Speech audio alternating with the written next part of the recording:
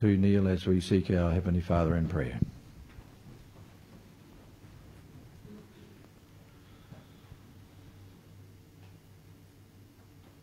Heavenly Father, Lord, this morning we just want to thank you for this privilege that we have of being here in your house of worship today, where we can come to praise your wonderful name. to thank you, Lord, for your many blessings, for your love and your grace shared so freely with each one of us today. Father, we think of those that don't have this privilege. There are many around the world today suffering, Lord, for you. And we just pray that you'll be with each one at this time. Father, we're just so grateful for the sacrifice that you made on Calvary us, for us and the assurance that you've given us of resurrection and spending and going to heaven with you when you come for each one of us. Father, again, we just want to thank you for your many blessings. Thank you, Lord, this morning that you've forgiven us as we've asked in your name those things that we've done and said that aren't acceptable to you.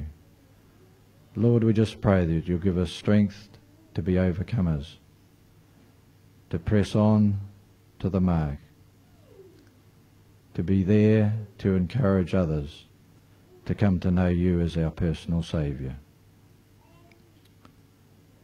Father, again, this morning we just think of those that aren't here with us, those that are finding the way hard, Lord, we just pray that you'll be with each one and bless them just wherever they are today. Those aren't, that aren't well, Lord, we pray too for a special blessing. Pray that your arms of love will be with joy at this time. Pray that you'll be give her the comfort and the strength that she needs, and with Merv too. Lord, we just pray that you'll encompass this family with your love at this time. And Lord, uh, we just think of Dave and Jocelyn too at this time. We just pray that you'll be with them in a special way on this, your Sabbath day. We think of our young people, our youth, our children, our parents, Lord. We just pray that you'll give each one wisdom and guidance that they can bring their children to come to know you as their special personal Saviour. Again, we want to thank you for your many blessings. Thank you, Lord, that John has given his time this morning to be with us and to present your word. Might our hearts be open, our minds be clear, that we will understand, and it will be a blessing for us, each one today. Pray now that you'll be here, one of our number, that we will be conscious of your presence right here in our midst this morning. We pray in Jesus' name. Amen.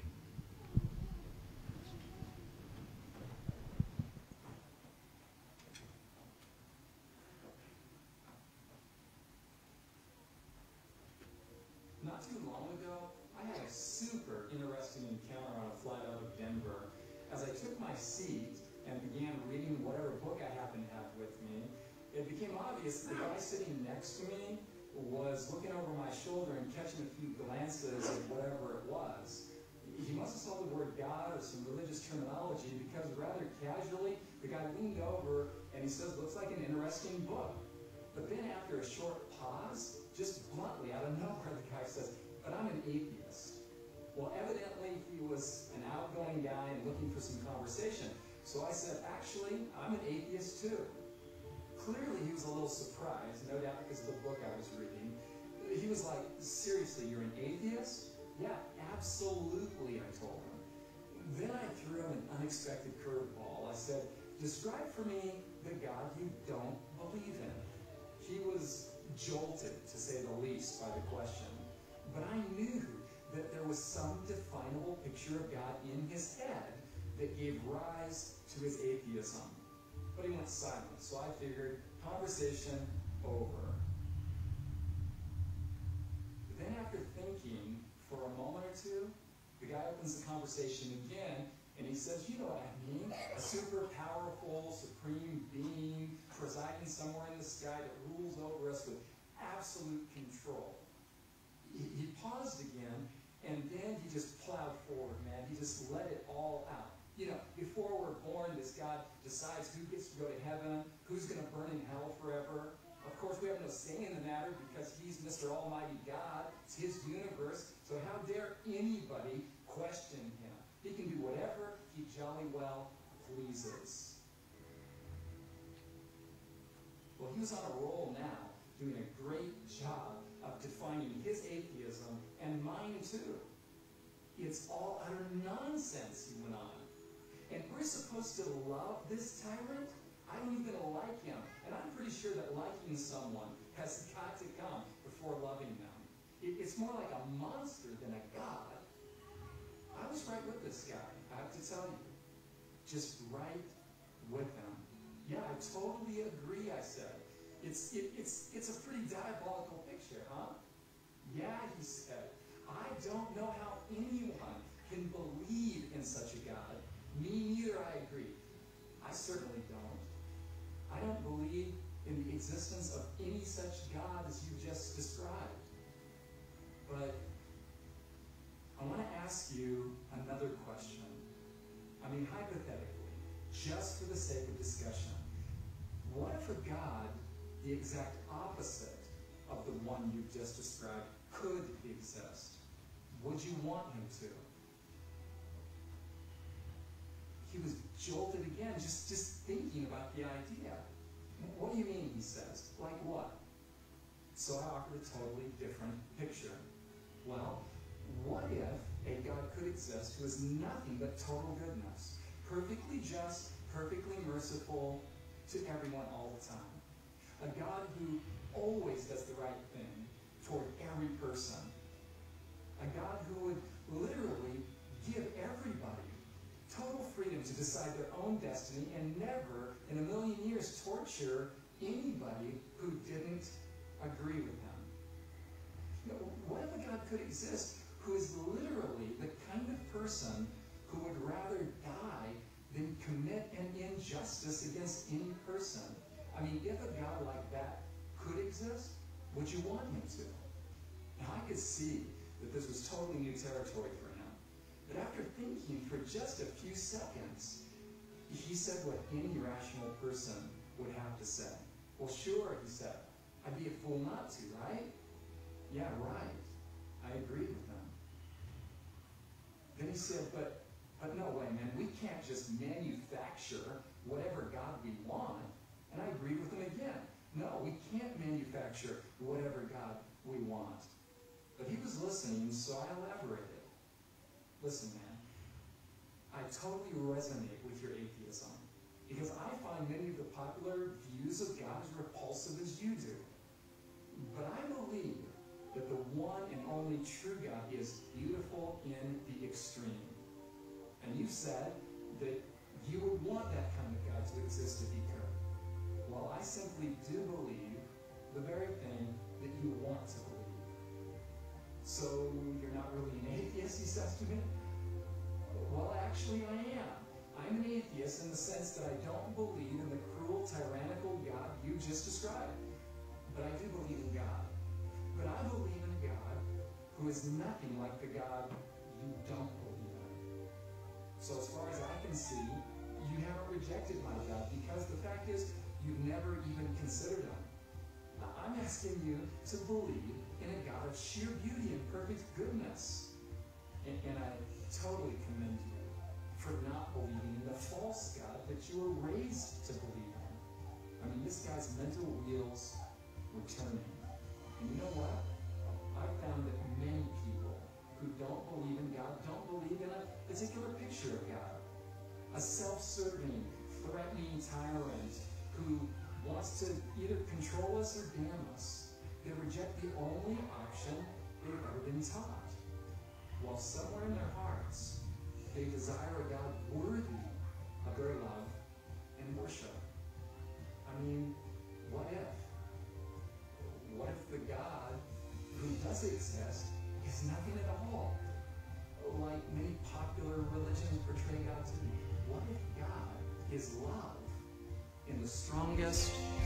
most beautiful sense imaginable?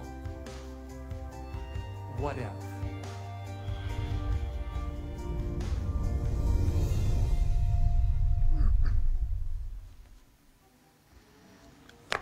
knowing God as He is, and uh, what a powerful testimony. Can you can use that question, can't you? What a great question.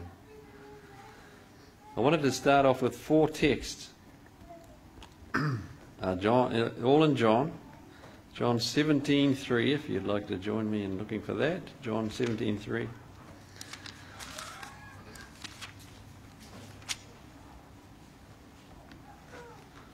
What do you think of when I say eternal life or life eternal? What do you think of?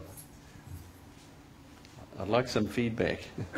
I'm much better, much more comfortable in the Sabbath school class than I am standing up here, I can tell you. I'm not a preacher. But what do you think of when you hear the words eternal life? Living forever. Living forever. Yeah. No more hardship. No more hardship. it, seeing God face to face, yeah. A lot of normally our first reaction is it's a long time, right? Living for a long time. Let's have a look what Jesus said eternal life really is. In verse 3 of 17, this is eternal life, that they may know you. He's praying to his Father at the time. This is eternal life, that they may know you, the only true God, and Jesus Christ, whom you have sent. Isn't that amazing? Time doesn't really matter if you know Him. And this is why He can say, you know, you have eternal life now. But let's have a look at another one. John 5 19. John 5 19.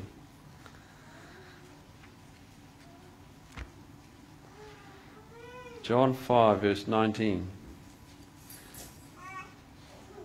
I tell you the truth, the Son can do nothing by himself. He can only do what he sees the Father doing, because whatever the Father does, the Son also does. And John 8, John 8, verses 33 to 44. In a discussion with the Jews, this is Jesus. 38 to 44.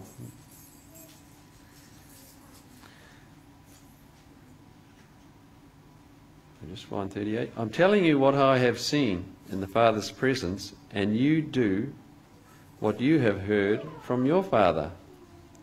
Abraham is our father, they answered. if you were Abraham's children, Jesus said, then you would do the things Abraham did. As it is, you are determined to kill me, a man who has told you the truth that I heard from God.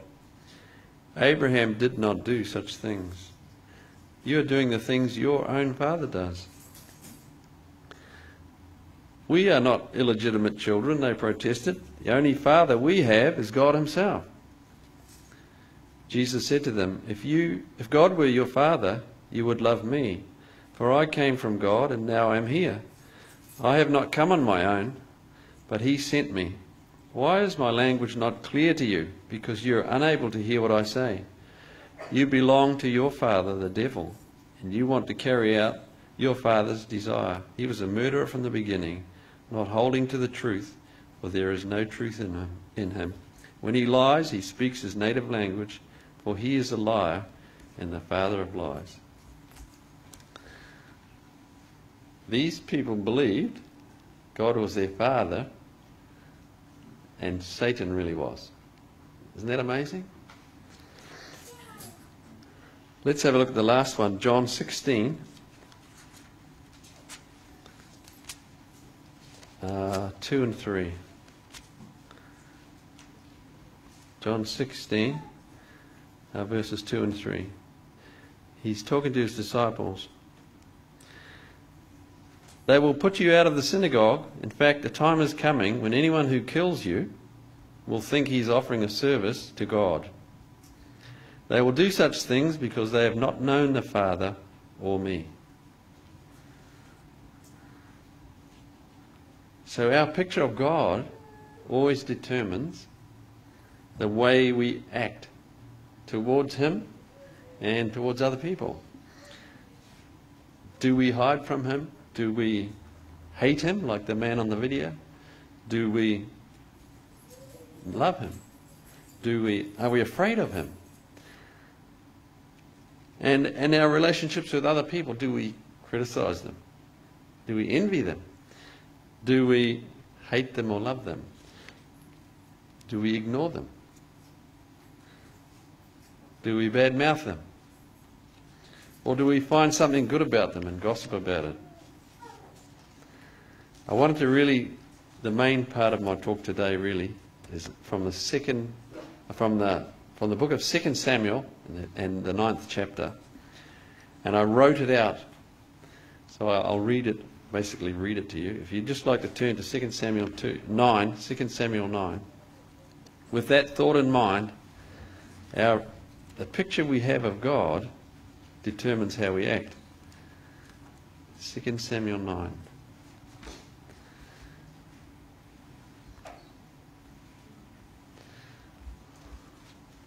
I guess this would be the children's story. Sorry we didn't have something special for you today, but this is an amazing story that kids love. 2 Samuel chapter 9. I'll read it. David asked, Is there anyone still left of the house of Saul to whom I can show kindness for Jonathan's sake? Now there was a servant of Saul's household named Ziba. They called him to appear before David, and the king said to him, Are you Ziba? Your servant, he replied. The king asked, Is there anyone still left of the house of Saul to whom I can show kindness? Ziba answered the king, There is still a son of Jonathan. He is crippled in both feet. Where is he? the king asked. Ziba answered, He's at the house of Machir, son of Ammiel, in Lo-debar. So King David had him brought from Lo-debar, from the house of Machir, son of Ammiel. When Mephibosheth, son of Jonathan, the son of Saul, came to David, he bowed down to pay him honour. If you've got the King James, it says what? He fell on his face. He, David said, Mephibosheth, your servant, he replied. Don't be afraid, David said to him, for I will surely show you kindness for the sake of your father Jonathan. I will restore to you all the land that belonged to your grandfather Saul and you will always eat at my table. Mephibosheth bowed down and said, What is your servant that you should notice a dead dog like me? Then the king summoned Ziba, Saul's servant, and said to him, I have given your master's grandson everything that belonged to Saul and his family. You and your sons and your servants are to farm the land for him and bring in the crops so that your master's grandson may be provided for. And Mephibosheth grandson of your master, will always eat at my table. Now Ziba had fifteen sons and twenty servants. Then Ziba said to the king, Your servant will do whatever my lord the king commands his servant to do. So Mephibosheth ate at David's table like one of the king's sons. Mephibosheth had a young son named Micah, and all the members of Ziba's household were servants to Mephibosheth. And Mephibosheth lived in Jerusalem because he always ate at the king's table and he was crippled in both feet. The son of Jonathan and the grandson of Saul, both of them are now dead. And he had fallen and become what we call paraplegic. And he lived in Lo-debar, that name, the Hebrew meaning for that name, a place of no pasture.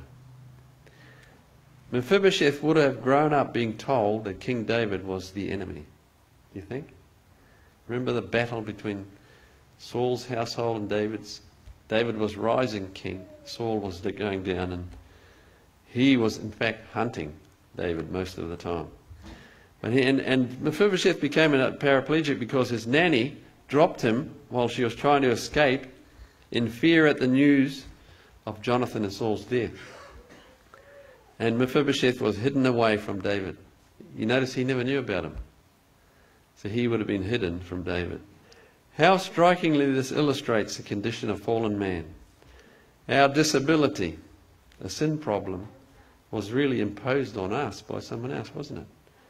We were born with it because of our first father, Adam. No sooner had sin blinded the mind of Adam than we read that he hid himself from the presence of the Lord amongst the trees of the garden.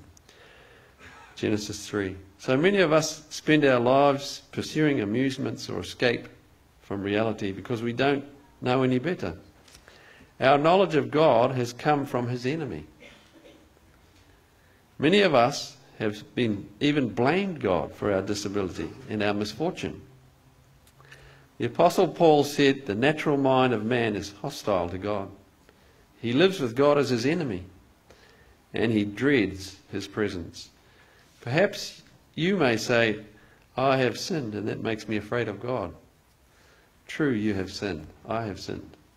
All have sinned. But if you knew the price that he paid to take away that sin, that he spared not his own son, then you would see that God is the only one you can go to as a sinner and be assured. John, 1 John 1 7. The blood of Jesus Christ, his Son, cleanses us from all sin. Notice in verse 1 of chapter 9 there, David said, Is there anyone still left of the house of Saul to whom I can show kindness for Jonathan's sake? Isn't this just the same as the Holy Spirit? He's looking, is there anyone left of the fallen sons and daughters of Adam to whom I can show the kindness of God? No matter how deeply they've fallen, they might be lame in both feet in a place of no pasture.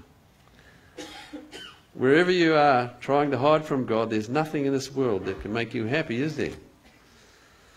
There's only one who will never disappoint you Jesus Christ.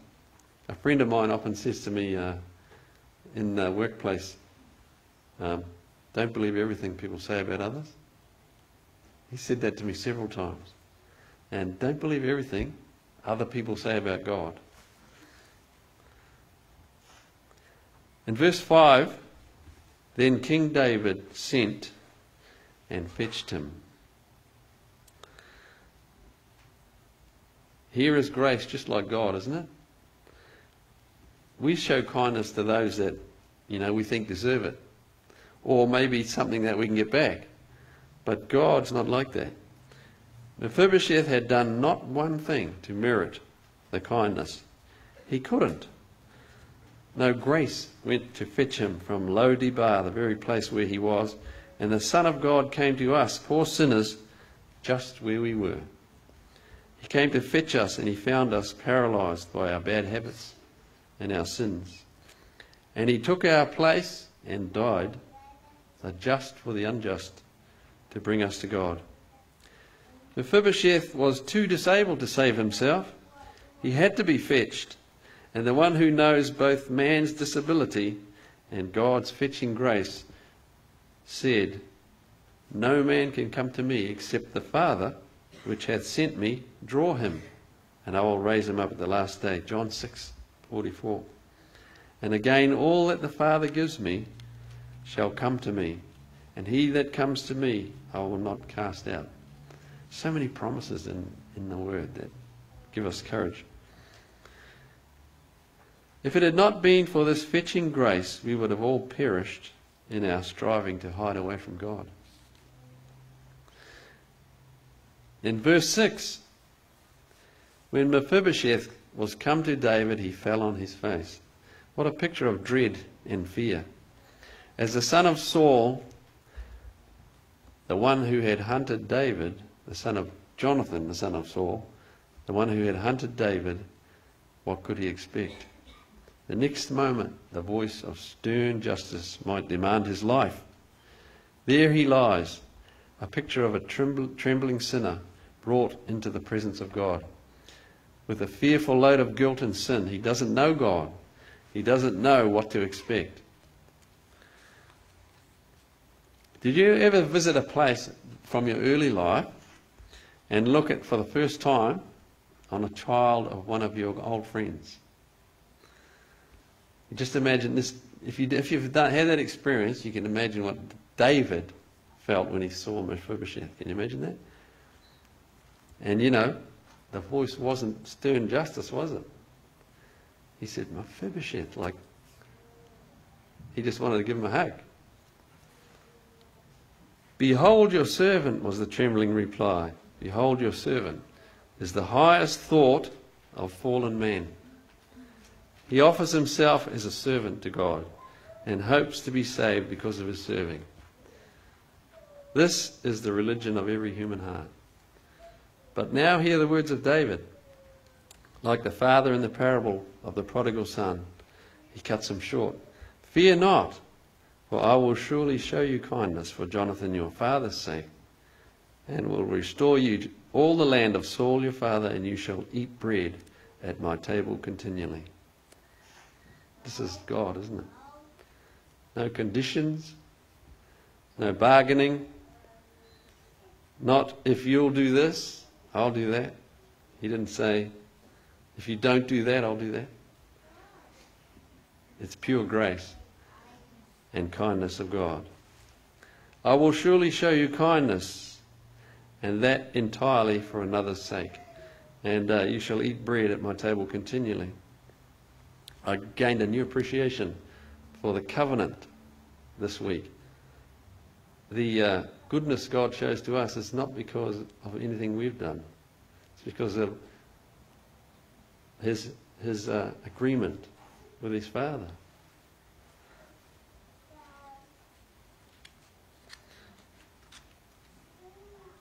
Am I misrepresenting or revealing the true character of God? Is this how he receives lost sinners? Are these his words to the wretched, trembling, death deserving sinner? Can God the Father point to the cross of Christ and say, Fear not, I will surely show you kindness for Jesus' sake? All this without a single condition. We have difficulty with this, don't we? we want to do something all pure grace flowing from his own overflowing heart of love. Do you know this God? Let's have a look at Ephesians 2. Ephesians 2 4. Ephesians 2 and verse 4 to 10. Ephesians is an amazing book. If you're ever feeling like you're Christianity's a bit flat. Read Ephesians. Ephesians 2, verses 4 to 10. But because of his great love for us, God, who is rich in mercy, made us alive with Christ, even when we were dead in transgressions. It is by grace that you have been saved, and God raised us up with Christ and seated us with him in the heavenly realms in Christ Jesus in order that in the coming ages he might show the incomparable riches of his grace, expressed in his kindness to us in Christ Jesus. For it is by grace you have been saved through faith. And this not from yourselves, it is the gift of God, not by works, so that no one can boast. For we are God's workmanship, created in Christ Jesus to do good works, which God prepared in advance for us to do. Would we have sent to Mephibosheth a book of directions? How to repent? How to cure his feet?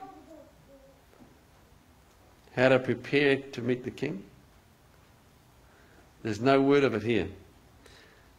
He comes just as he is. Nothing more was required. How could there be when David's heart was already filled with love for him?